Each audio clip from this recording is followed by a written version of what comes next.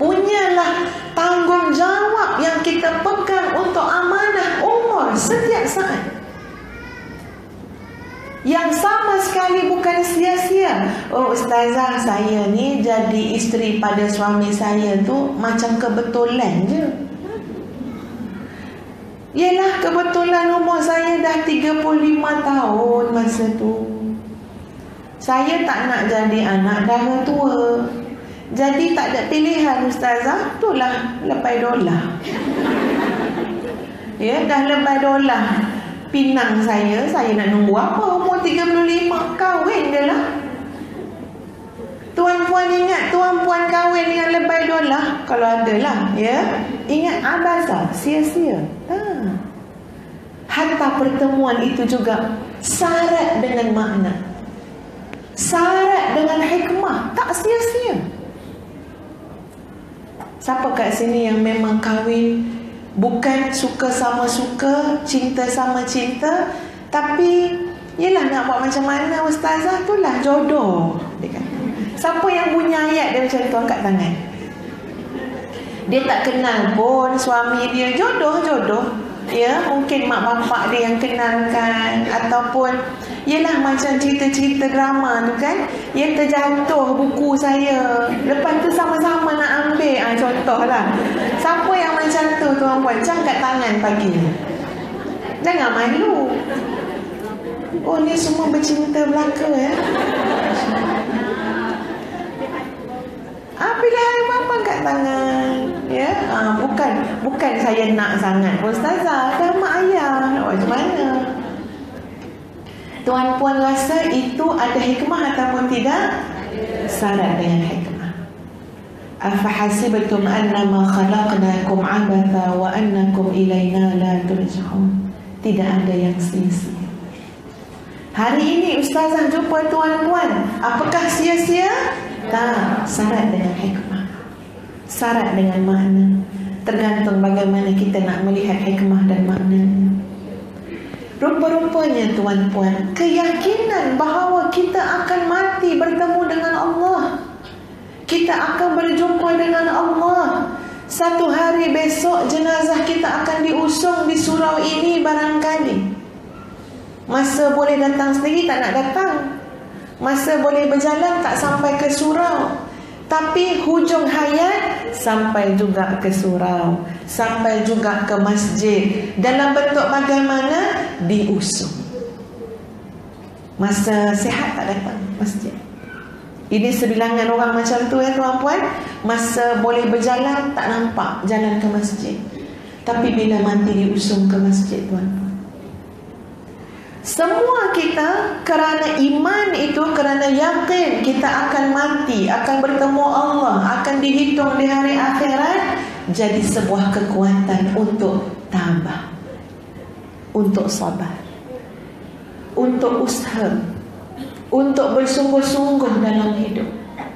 Kalau tak tuan-puan, kalaulah tidak kerana keimanan kepada Allah, kepada pertemuan dengan Allah, boleh jadi ramai yang putus asa dalam hidup.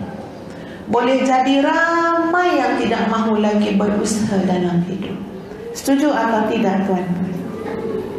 Menurut kata Menteri Kesihatan Siapa Menteri Kesihatan? Ah tuan-puan Yang ni tak dapat hadiah eh? Soalan senang jadi pun. Siapa dia Menteri Kesihatan? Contohlah Ustazah ya. Hari-hari pergi klinik kesihatan Tak pula nak ambil tahu. Siapa Menteri Kesihatan? Ah, Okey. Datuk S. Subramanian Panjang dia punya U tu Sedara ke? Ya. Tuan puan sekalian Beliau telah berkata pada tahun 2016 Sekarang tahun 2018 Dua tahun dah Setahun lebih dah beliau cakap ni Beliau kata apa tuan-puan? Penyakit nombor dua menjelang tahun 2020. Penyakit nombor dua. Ni top 3. Menjelang tahun 2020 yang sangat mengancam masyarakat Malaysia. Selepas penyakit nombor satu. Penyakit nombor satu apa dia? sakit jantung.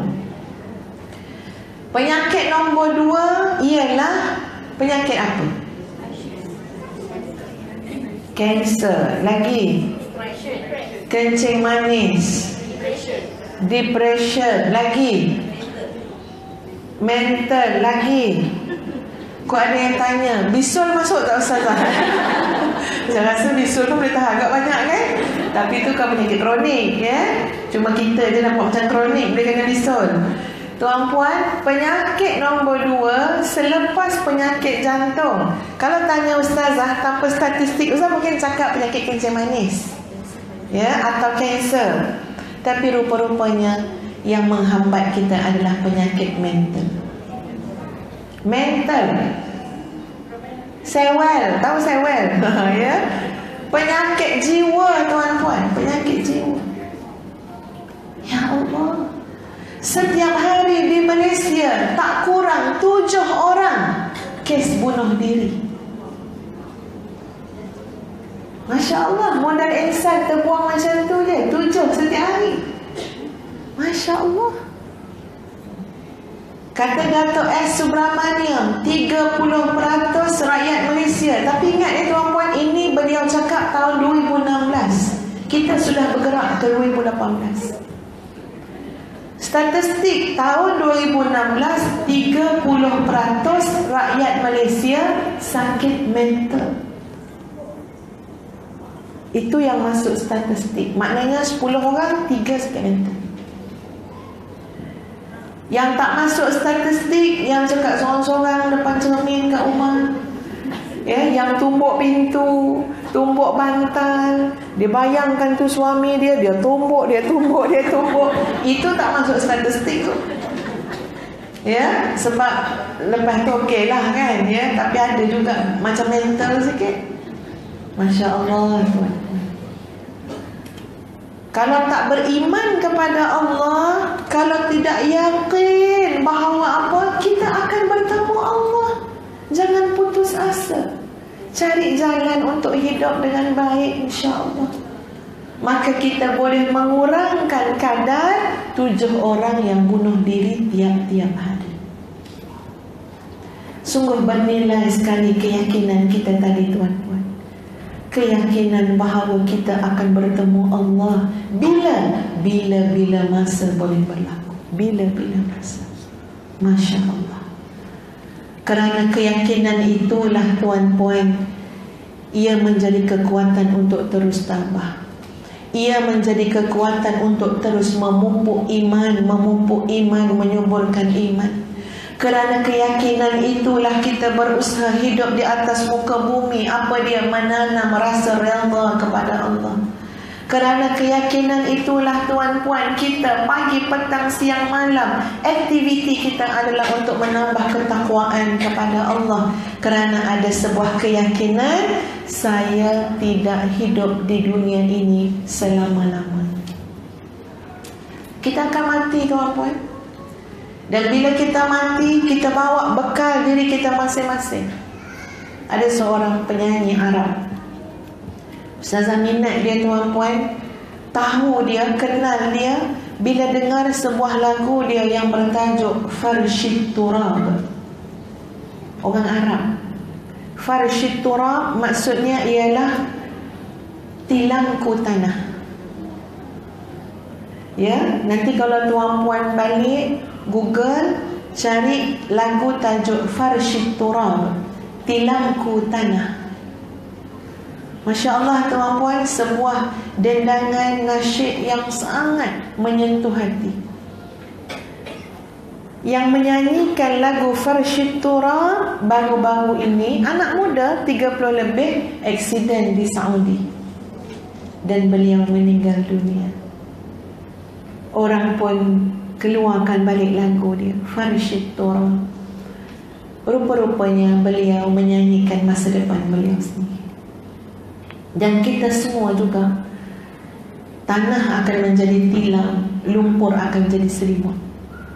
Ya Farshid Tora tilamku tanah. Eloklah tuan puan banyak-banyak kena nyanyi lagu tu ya. Ha, ganti lagu-lagu lain. Farshid Tora tilamku tanah. Kerana keyakinan itu